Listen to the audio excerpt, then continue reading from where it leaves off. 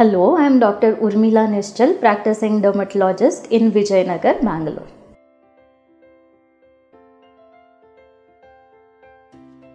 Uh, heavy exercises are usually uh, done by people who hit the gym regularly or uh, who are into bodybuilding and all. So what happens exactly is sometimes you take certain supplements and this trigger the hormones.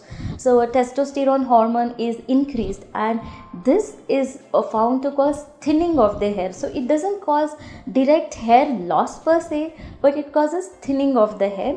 The existing hair follicles, which are pretty thick, gradually becomes thin, thin, thin, and the volume of the hair is lost, and the scalp becomes gradually visible, which we call as baldness. So yes, in some cases it can cause, but not in all the cases. So you not you should not fear about doing exercises, but just see to it that you balance, or if you feel there is any sign of uh, this kind of thinning or baldness occurring, please consult your nearest dermatologist.